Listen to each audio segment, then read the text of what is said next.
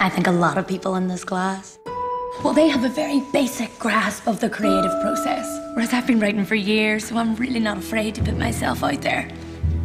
To be bold. And you are? Erin Quinn. She wrapped up your poems? She said we weren't writing from the soul. Well, why in under God weren't you writing from the soul? Seriously. Nobody's just gonna hand us things. But that doesn't mean we shouldn't have things.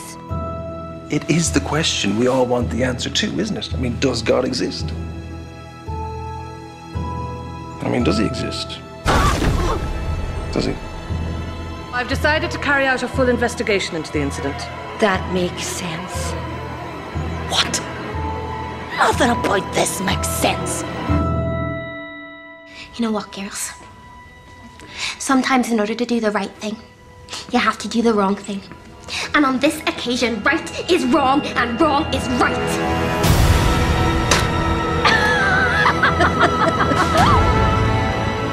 Look, Mummy, I'm not a clone. I should be allowed to express my individuality.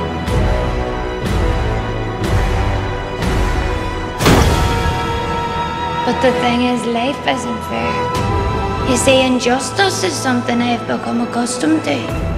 I am, after all, a child of the crossfire, surrounded by conflict, but I choose to rise above it. You terrify me. Hey. Hey. Hey! Jesus Christ! I have a hunting knife. Erin, what are we gonna do? I don't know, she's fucking mental. What are you suggesting? If you are lying, Erin, so help me, Jesus. I'm not lying. Swear. Swear on Dolly.